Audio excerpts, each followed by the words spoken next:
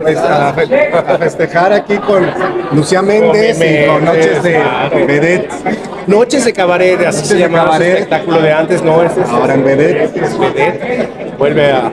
Pero qué bonito volverla a ver en un escenario con sus grandes éxitos, con una reina de las telenovelas, una mujer que admiro muchísimo, tiene una, una gran trayectoria. La verdad, y ella como persona es tan simpática, es tan, tan inteligente, tan perspicaz, tan atinada y este tan polémica. tan polémica también pero es divertida. Es una mujer que ha, ha tenido una gran vida este, y la verdad que volverla a ver en el escenario qué maravilla vestida de farfala por supuesto qué mara- más guapa se va a ver todavía. ¿Has tenido oportunidad de convivir con ella, de trabajar en algún momento?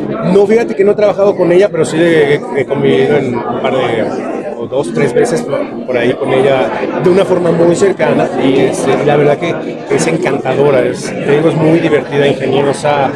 Eh, Uy, no, no, no, bueno, le, le gira la piedra muchísimo y qué bueno que la volvemos, tenemos la oportunidad de volverla a ver en un gran espectáculo y aquí en el Estelaris donde ha triunfado tanta gente y tan- durante tantos años. Ahora en el 90s Pop Tour van a convivir, van a, va a salir como invitada especial. Ella viene como invitada especial, en la- ya la vamos a tener también ahí como la tesorito, que también la amo y la adoro y este, sí, también llevo una gran amistad con ella.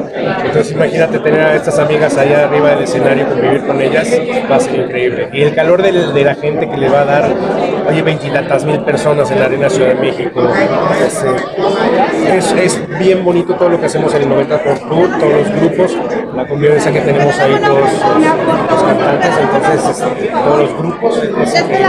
Y una noche especial en el Pride. Sí, es la noche que antes de la- del desfile del, sa- del domingo, entonces este, El sábado, es, el sábado es la marcha y el sábado también va a ser el concierto. bueno, ah, sí, no es el viernes. Es que de hecho es el segundo. eh, es el segundo que se, ajá, es el segundo.